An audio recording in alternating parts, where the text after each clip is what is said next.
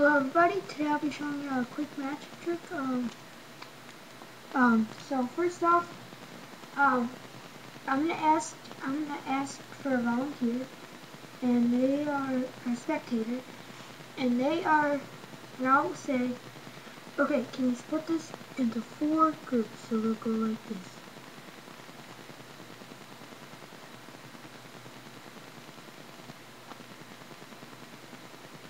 Alright, good. Now, now next what they're going to do, they're just going to look at each pile. Now they're taking cards, just going to look at each pile.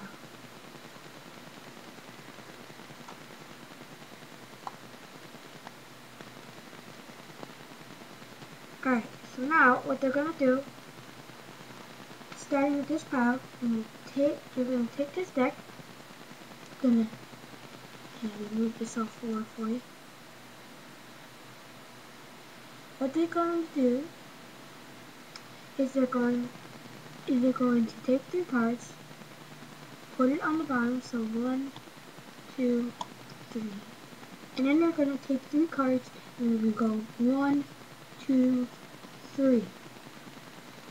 Same thing with the next deck. They're going to take three cards, one, two, three, put it on the bottom, now they're going to take three, go one, two, three.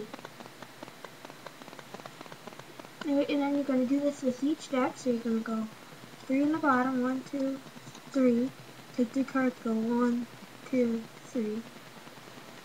And this deck, you're going to do the same thing. Same thing, you're going to go one, two, three. Put, put them on the bottom. And go one, two, three. Now you're going to flip over all the cards and look and all the aces. So that's the trick and now I'm going to show you how to do this.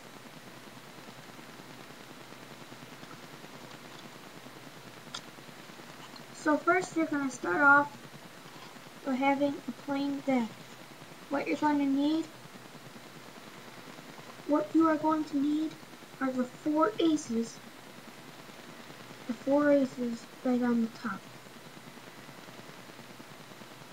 The four aces will be right on top. So now, uh, for this trick, I'm just going to keep all the aces flipped over in the deck so you can see where they're moving exactly.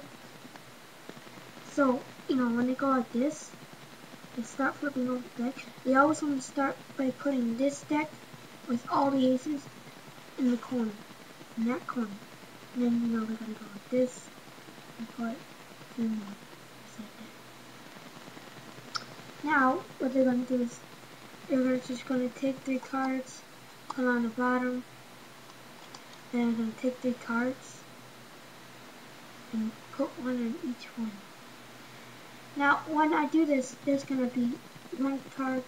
So there are not just one card in this one from this deck, one card in this one from this deck, one card from this deck. And so, really, when you take three cards from this deck with the aces, um, you're gonna, so I'll just show you again. You're gonna take three cards, put them on the bottom, and go one, two, three, and then take three cards, put them on the bottom, and go one, two, three, and then, oh, and then you're going to take this deck, take three cards, put them on the bottom, and then with the aces, you're to go one, two, three, and then there you go, get all the aces.